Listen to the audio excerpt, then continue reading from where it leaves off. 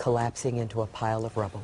They were so eager to propagate the collapse meme, they jumped the gun in the case of Building 7, also known as the Salomon Brothers Building and accidentally read the script 20 minutes before it actually happened. On the latest building collapse in New York, you might have heard a few moments ago, was talking about the Salomon Brothers building collapsing.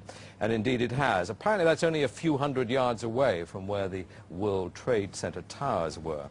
And it seems that this was not a result of a new attack. It was because the uh, building had been weakened uh, during this morning's attacks. They already told you it collapsed and gave you the official reason why it collapsed. As you can see behind me, we can see behind Jane, and we see that Building 7 is still standing.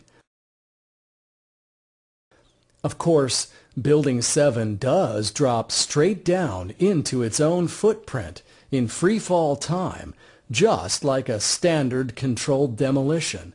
But this happens 20 minutes later.